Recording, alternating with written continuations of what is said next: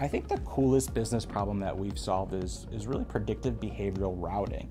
When you look at this concept of hundreds of thousands, millions of people calling into these call centers, and we're putting them with the person who's best suited to interact with them. Um, a couple years ago, I mean, that would be mind blowing. And today we're doing that across the board. Uh, and I think it's only going to get better. I mean, kind of make no small plans.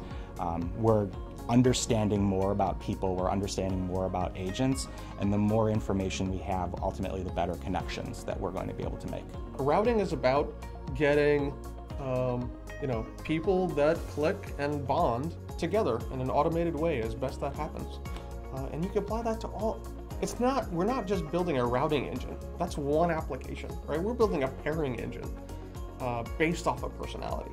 We determine who's best to communicate with a customer by looking at people's natural predispositions and communication preferences. The top three metrics companies use Mattersight's routing solution to optimize are to reduce cost, to improve sales, and to improve customer experience.